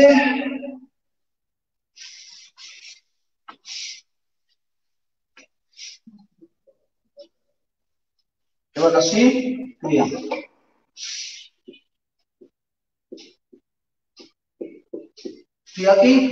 কাজ একটা বাক্য কখনোই, একটা বাক্য কখনোই সম্পূর্ণ হয় না। যতক্ষণ পর্যন্ত সেই বাক্যে ক্রিয়াপদ না থাকে। ক্রিয়া ছাড়া কখনো বাক্য সম্পন্ন হতে পারে না। একটা বাক্য হতে হলে তাকে কি করতে হবে? অবশ্যই কি করতে হবে? একটা একটা বাক্য হতে হলে তাকে অবশ্যই ক্রিয়া ধারণ করতে হবে। কারণ বাক্য একটা কাজকেই বোঝায়। তো সেই কাজ প্রকাশক কোনো শব্দই যদি না থাকে, তাহলে সেটা বাক্য হতে পারে যদিও বাংলা বাক্যে ক্রিয়াটা অনেক সময় সাইলেন্ট থাকে। বাংলা বাক্যে ক্রিয়াটা অনেক সময় কি থাকে? উজ্জ থাকে। হ্যাঁ? কিন্তু ইংরেজি বাক্যে সেটা কখনোই সম্ভব হয় না। ইংরেজি বাক্যে ক্রিয়াটাকে সুস্পষ্ট ভাবে উল্লেখ করতে হয়। যেমন তিনি আমার বাবা। তিনি আমার বাবা। আচ্ছা এই বাক্যে এই বাক্যে ক্রিয়া কি দেখা যাচ্ছে? তিনি আমার বাবা, কোন ক্রিয়াপদ এখানে দেখা যাচ্ছে? না। কোন ক্রিয়াপদ এখানে নাই। কিন্তু তারপরেও আছে। কি আছে? এটা লুকায়িত আছে, এটা অনুক্ত আছে। কি সেটা? তিনি হন আমার বাবা। এই যে হন। তাহলে এটা হলো ক্রিয়াপদ। তাহলে যে বাক্যে, একটা বাক্যে, বাংলা বাক্যে অনুক্ত থাকলেও বাক্যের ক্ষেত্রে অনিবার্য যে উপাদান, সেটা হলো ক্রিয়া। কোনো কিছু না থাকলেও সেটা কি হবে? ক্রিয়া থাকতে হবে। তো ক্রিয়াপদ এটা বেশ কয়েক রকমের হয়। একটা হলো সমাপিকা ক্রিয়া। আরেকটা হলো অসমাপিকা ক্রিয়া। সমাপিকা ক্রিয়া সমাপিকা ক্রিয়া। আমরা এর আগেই এটা আলোচনা করেছিলাম, সরল বাক্য আলোচনা করার সময় যে সমাপিকা ক্রিয়া যে ক্রিয়াটা কি করে? একটা বাক মানে একটা বক্তব্য সম্পূর্ণ করে। সেটা হলো সমাপিকা ক্রিয়া। কি বললাম? যে সমাপিকা ক্রিয়া একটা বাক্য বা একটা বক্তব্য সম্পূর্ণ করে, সেটা হলো সমাপিকা ক্রিয়া। আর যেটা সম্পূর্ণ করে না, সেটা হলো অসমাপিকা ক্রিয়া। যেমন, আমি আমি কি? ভাত খাই। আমি বাঙালি তো, ভাত খাব না। আমি ভাত খাই। আমি ভাত খাই। তাহলে আমি ভাত খাই। এই বাক্যটা কি সম্পূর্ণ না, আমার বক্তব্য পরিপূর্ণভাবে প্রকাশিত হয়েছে না, যে আমি ভাত খাই, একদম পরিপূর্ণ একটা বক্তব্য, একটা মনের ভাব প্রকাশিত হয়েছে। কিন্তু আমি যদি বলি, আমি ভাত খেয়ে বক্তব্য কি কমপ্লিট হয়েছে? আরও কিছু জানতে চাচ্ছি না? এখানে খেয়ে, এটা হলো অসমাপিকা খাই এটা হলো সমাপিকা। কিন্তু খেয়ে, এটা হলো অসমাপিকা। বুঝেছি? যেমন আমি তাকে কথাটি বললাম, কিন্তু আমি যদি বলি, আমি তাকে কথাটি বলে হ্যাঁ শেষ হয়নি। সম্পূর্ণ হয়নি। এই জন্য সমাপিকা মানে সমাপ্ত করে, অসমাপিকা মানে অসমাপ্ত রাখে। তো এখানে আমি ভাত খেয়ে এটা হলো অসমাপিকা, খাই সমাপিকা। আরেক ধরনের কি আছে? সকর্মক। সকর্মক ক্রিয়া আরেকটা হলো অকর্মক ক্রিয়া। সকর্মক ক্রিয়া কোনটা? যে ক্রিয়ার কর্ম থাকে, সেটা হলো সকর্ম। যেমন এই বাক্যটা দেখেন আমি ভাত খাই। কি লিখেছি? আমি ভাত খাই। এই যে খাই, এটা ক্রিয়া। ক্রিয়াকে যদি আমি কি দিয়ে প্রশ্ন করি, তাহলে কর্ম পাওয়া যায়। তাহলে যে ক্রিয়ার কর্ম আছে, সেটাকে বলা হয় সকর্মক। আর যে ক্রিয়ার কর্ম নাই, সেটা হলো অকর্মক ক্রিয়া। যেমন, আমি ভাত খাই। কি খাই? ভাত খাই।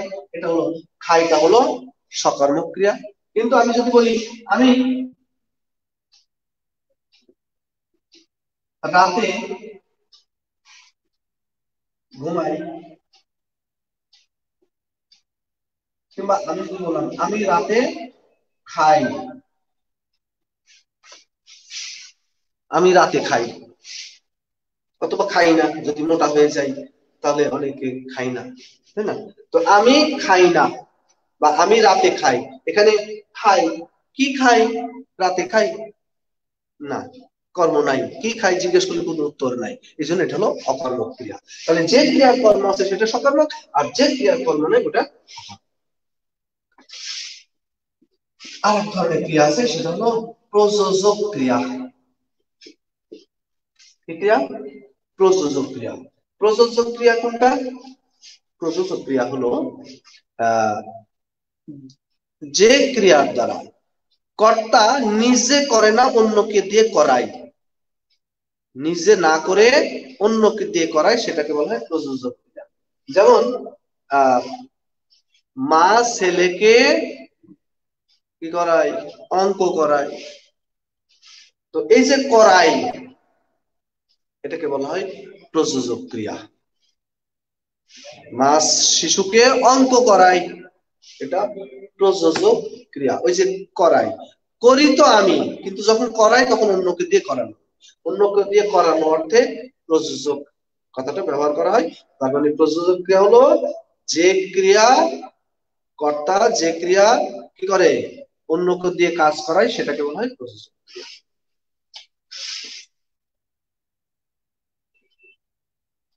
আরেকটা হলো দ্বিকর্মক ক্রিয়া দ্বিকর্মক ক্রিয়া কোনটা? যে ক্রিয়া দুইটা কর্ম থাকে, তাকে বলা হয় দ্বিকর্মক ক্রিয়া যেমন কি? যেমন, মা শিশুকে অঙ্ক করাই এখানে কয়টা কর্ম? কয়টা কর্ম? যেমন করাই কি করায়? অঙ্ক করায়। কাকে করায়? শিশুকে করায়। কি বা কাকে দ্বারা প্রশ্ন করলে যে উত্তর পাওয়া যায় সেটা হলো কর্ম। তাহলে এটা কি? দুইটা আছে। একটা হলো শিশুকে আর একটা হলো কি? অঙ্ক। তাহলে দুটো আছে, কর্ম আছে, এই জন্য এটাকে বলা হয় দ্বিকর্ম ক্রিয়া। আর এক ধরনের ক্রিয়া আছে যৌগিক ক্রিয়া। হ্যাঁ। যৌগিক আমরা বুঝেছি। যৌগিক মানে একাধিক। মানে যৌগিক ক্রিয়ার মধ্যে দুইটা ক্রিয়া কিন্তু দুইটার মধ্যে একটা সমাপিকা আর একটা অসমাপিকা। সমাপিকা এবং অসমাপিকা মিলে যে ক্রিয়া তৈরি হয়, তাকে বলা হয় যৌগিক ক্রিয়া। কেমন? এই যেমন মনে করেন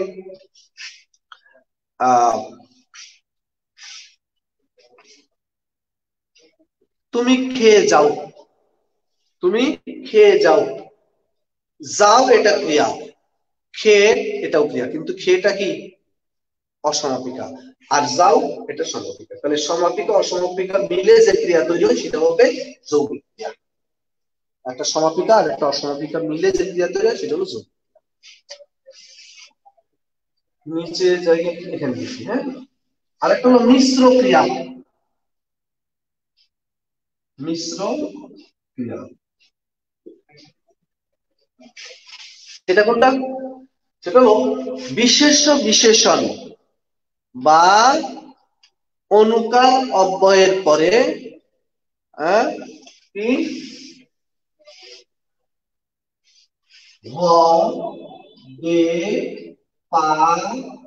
খা ধর কার ছাড় এগুলো। এগুলোর আগে কি বসবে? বিশেষ্য, বিশেষণ বা বিশেষণ বা অব্যয়ের অব্যয়ের পর। তাই না? পর এই যে, এই ক্রিয়াগুলো যুক্ত হয়ে যে ক্রিয়া তৈরি হয়, তাকে বলা হয় কি? তাকে বলা হয় মিশ্র ক্রিয়া। যেমন কি? দূর হ। দূর হ। দে। ভাত দে। ভাত দে। ভাতটা হলো বিশেষ্য। আর তারপরে দে। তাহলে বিশেষের পরে যুক্ত হয়েছে, এটা হলো কি? মিশ্র ক্রিয়া। তারপরে পা। কি পা? কান্না পা। মাথা খা। তারপরে কি আছে? কান ধর তারপরে কি আছে? মার চড় মার তারপরে কান কাট ছাড় ছাড়ানো ছাড়। হ্যাঁ? মূল্য ছাড়। এগুলো হলো মিশ্র ক্রিয়া তাহলে কি? বিশেষ বিশেষণ বা অনুকার অব্যয়ের পরে হ দে, পা, খা, ধর, মার, কাট, ছাড় ইত্যাদি যুক্ত হয়ে যে ক্রিয়া তৈরি হয়, তাকে বলা হয় মিশ্র তাহলে আমরা ক্রিয়া অনেক রকমের পেলাম, কি পেলাম? একটা সমতিকা একটা সমতিকা একটা সকর্মক একটা কর্মক একটা দ্বিকর্মক একটা প্রযোজক আর একটা হলো যৌগিক এবং সর্বশেষ পেয়েছি মিশ্র ক্রিয়া এই ছিল আমাদের আজকের পদের আলোচনা। আশা করি এগুলো মোটামুটি আপনারা ধারণা পেলেন। এগুলো একটু খেয়াল রাখবেন, আর ইনশাআল্লাহ এখান থেকে প্রশ্নগুলো আসবে আপনি অ্যান্সার করতে পারবেন। ঠিক আছে? তাহলে আজকে এই পর্যন্তই থাকল। আপনাদের সাথে এই ব্যাচের সাথে আজকের শেষ ক্লাস, পদ, তারপরে বাক্য। আর আপনারা ভালো থাকবেন। আপনাদের জন্য শুভকামনা থাকল। আর আপনারা সফল হন। আপনাদের প্রত্যাশা পূরণ হোক। এই কামনা করে আজকের মতো শেষ করছি। আল্লাহ হাফেজ। আসসালামু আলাইকুম।